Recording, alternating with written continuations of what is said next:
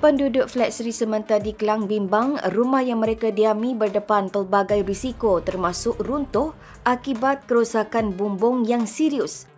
Ujar pengerusi flat Seri Sementa Muhammad Jamuri Wahudin, bumbung rosak menyebabkan air hujan bertakung di tingkat 5 dan mengalir dalam celahan dinding yang akhirnya menyebabkan kesan retak yang teruk.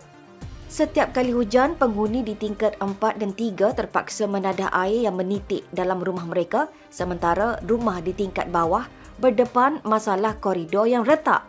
Penghuni juga beberapa kali berdepan saat cemas apabila besi tadahan air hujan terlucut daripada bumbung yang rapuh lalu terhempas ke tingkat bawah.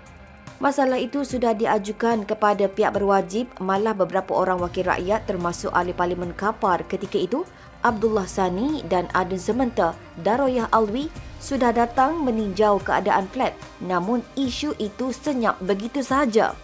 Tinjauan FMT mendapati kesemua bumbung empat blok flat Sri Sementa yang berusia 25 tahun itu berada dalam keadaan usang dan begitu merisikokan keselamatan penghuni bangunan berkenaan. Flat Sri Sementa setakat ini dihuni sekitar 160 buah keluarga.